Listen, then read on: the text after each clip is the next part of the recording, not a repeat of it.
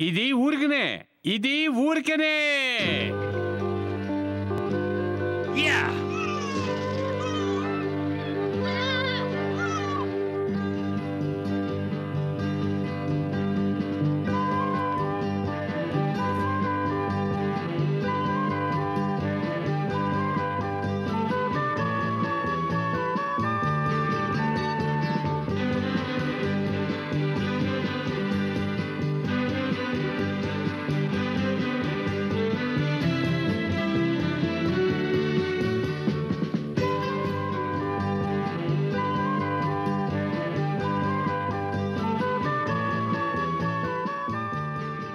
ఏదైనా ఫ్రీగా దొరికిందంటే మన అందరికీ అది ఇష్టమే.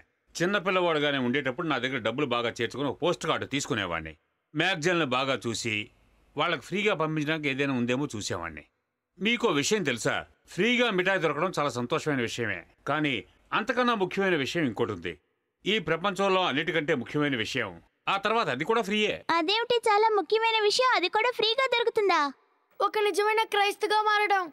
అదే మరి. మనలో ఒక్కరు మాత్రమే కాదు. ఈ ప్రపంచంలో ఎవరికీ నిజమైన క్రీస్తుగా ఉండే అర్హతే లేదు. దానికి మనం ఎంతో పుణ్యం చేసుకోవాలి. యేసు మన జీవితాన్ని చాలా సంతోషంగా ఉంచాలి. ఎప్పటికైనా మన స్వర్గానికి వెళ్తామని నమ్మాలి. ఆ అర్హత మనకు లేదు. కానీ ఇది మంది. ఊరికినే? ఇదే బైబిల్లో సాల్వేషన్ అని చెప్తుంది. సాల్వేషన్ అంటే ఏంటి మిస్టర్ మెసెంజర్? దాని గురించి ఇప్పుడు ఆయన మాట్లాడుతున్నారు. సాల్వేషన్ ఆయన మనసులో జీసస్కి చోటు ఇవ్వాలి అప్పుడే నీ పాపాన్ని మన్నించి సంతోషాన్ని ఇస్తాడు. అదే నిజం.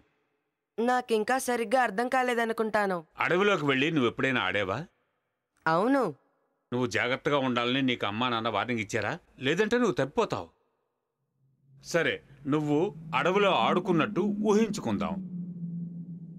నువ్వు ఆట దృష్టిలో పడి అలాగే అడవి మధ్యకి వెళ్ళిపోయావు.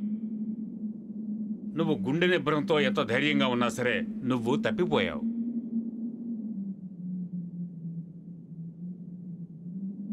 తప్పిపోవడం అనేది సంతోషమైన విషయం కాదు. అది చాలా ప్రమాదకరం.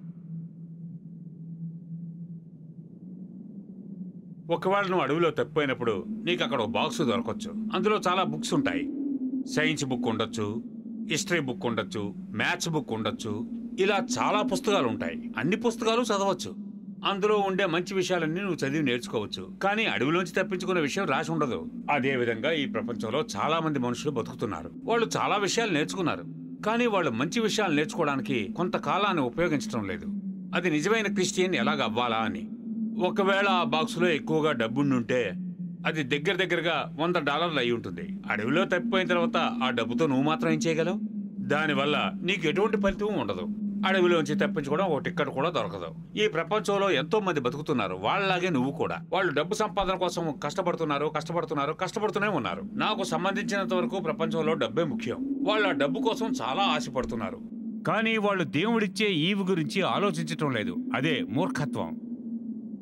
రాత్రిపూట అడవిలో తప్పిపోవడం అనేది చాలా ప్రమాదం. ఈ ప్రపంచం కూడా చీకట్లోనే ఉందని బైబిల్ చెబుతోంది పాపం అనేదే చీకటి. యేసుప్రభు ఏం చెప్పారో తెలుసా? నన్ను నువ్వు అనుసరించి వస్తే నీ జీవితంలో ఎప్పటికీ చీకటి ఉండదు. ఏదో ఒక కాంతి నీకు దారి చూపిస్తుంది. యేసుప్రభు చాలా గొప్పవాడు. ఆయన దగ్గర చీకటి అనే దానికి తావులేదు ఆ వెలుతురు వెతుక్కుంటూ వెళ్తే మీరు మీ జీవితంలో ఎప్పటికీ తప్పోరు ఒక క్రీస్తు ఆ పాపం అనే చీకటి నుంచి వెలుతురులోకి చాలా సులభంగా రావచ్చు. అది దేవుడు చూపించే దారి. బైబిల్లో దాని గురించి రాయబడింది. చాలా మంది మనుషులు ఆయన శక్తి ఏంటో తెలుసుకోలేకపోతున్నారు. వాళ్ళు ఇష్టం వచ్చినట్టు జీవిస్తున్నారు. జీవితాంతం అలాగే బతకాలనుకుంటున్నారు. తప్పిపోతున్నారు. దేవుడు కృప మనకు కలగాలంటే మన వీపుని ఆయనకి చూపించకూడదు. అపోస్త్రా అనే పాల్ దీని గురించి చెప్పారు. ఒక చిన్న పిల్లవాడిగా ఉండేటప్పుడు మంచి మంచి మాటలు నేర్పించాలి. ఇటువంటి మంచి మాటలే నీలో జ్ఞానాన్ని పెంపొందిస్తుంది. దేవుడు కూడా మనల్ని రక్షిస్తాడు. యేసుని నమ్మితేనే ఇవన్నీ సాధ్యపడతాయి. నాకు ఒక విషయం అర్థం కావడం లేదు. మీరు క్రైస్తవులుగా ఎలా మార్చగలరు మెసెంజర్ ఓకే మనం ఇప్పుడు ఇలా ఆలోచించి చూద్దాం. ఒకవేళ మీరు ఈ నీటిలో మునిగిపోయారే అనుకోండి.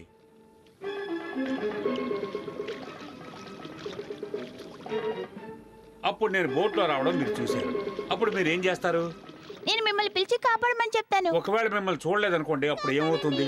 మీరు మునిగిపోతున్నారు. ఐఎమ్ సారీ చాలా విషమ పరిస్థితి. నాకు టైం అయింది. నేను వెళ్ళే తీరాలి. మిమ్మల్ని కాపాడడానికి నాకు టైం లేదు. ఒక గంట తర్వాత ఇదే దారిలో మళ్ళీ వస్తాను. అప్పుడు కానీ మీరు తేలి ఉన్నారనుకోండి మిమ్మల్ని లాగి నా బోట్లో వేసుకుని వెళ్ళిపోతాను. అలా చేస్తానని అనుకున్నారా? లేదు మీరు వెంటనే నన్ను కాపాడి మీ బోట్ ఎక్కించుకోవాలి. ఖచ్చితంగా అదే చేస్తాను. ఎంత త్వరగా అయితే అంత త్వరగా నీ ప్రాణాన్ని కాపాడతాను.